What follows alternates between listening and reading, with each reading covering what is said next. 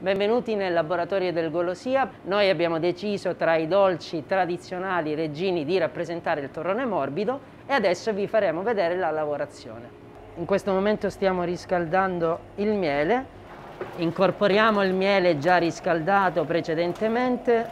Questo passaggio durerà più o meno una mezz'oretta, il tempo che si amalgami bene eh, lo zucchero con il miele. Noi utilizziamo mandorla di avola eh, perché rilascia degli oli particolari.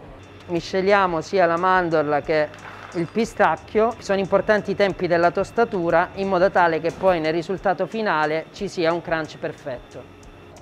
Ora stiamo incorporando l'albume insieme al miele appunto per creare l'impasto e rendere poi il torrone morbido.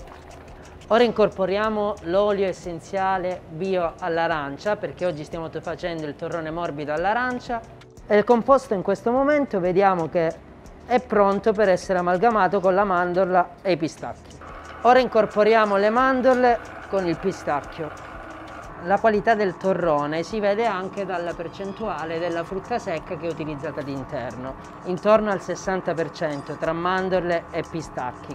Ora togliamo il torrone dalla torroniera per poi metterlo nei telai e lo stendiamo in modo tale che abbia una struttura omogenea, quindi tutto uguale, quindi nonostante sia artigianale dobbiamo cercare di essere più precisi possibile.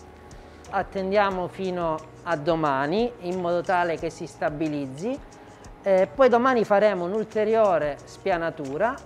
Come vedete la distanza tra eh, le mandorle, i pistacchi e il nostro composto è veramente pochissima, quindi vuol dire che il torrone ha un'alta percentuale di frutta secca.